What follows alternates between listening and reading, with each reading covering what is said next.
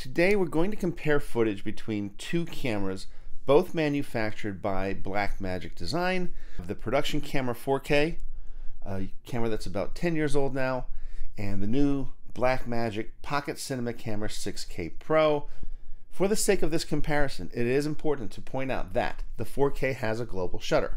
So with any movement, you're going to see a more stable image on the 4K than you're going to see on the 6K.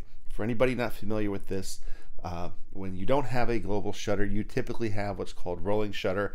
The image can kind of sway back and forth when you move the camera in a whip pan, even if you just move it under certain circumstances. I've used them both together on a professional commercial shoot as part of a two camera interview setup. Both of these clips have been graded. It's a very basic grade. No LUTs were applied to this.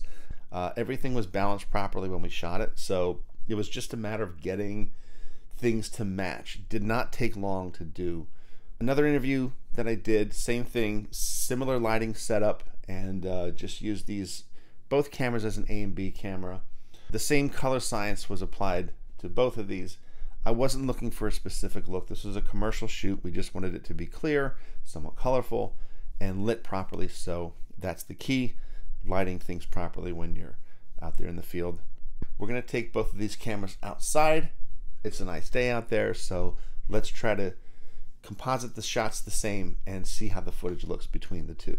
And for the sake of comparison, I'm going to put the same glass on both cameras. I'm going to use the Sigma 18 to 35. There's a little bit of a crop involved with the image here, but the point is we want to see how the image comes out. Does it retain information? Does it retain the colors? I will say that the 4K camera shoots better in ProRes than the 6K does. This is just my opinion. I've shot a few things in ProRes on the 6K, and when I started shooting in RAW on the 6K, I noticed a huge difference immediately, mostly in the clarity.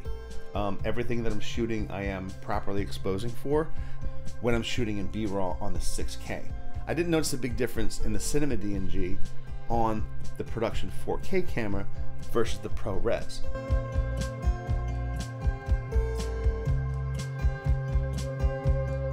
What it comes down to is they're both producing a really good image.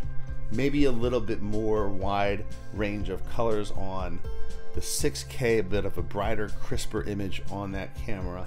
Uh, it is a new sensor, so there we have it. Thank you so much for watching. If you've made it this far, really thank you for doing this and hitting that like button and subscribing. It means a lot. And uh, I'd love to hear from you.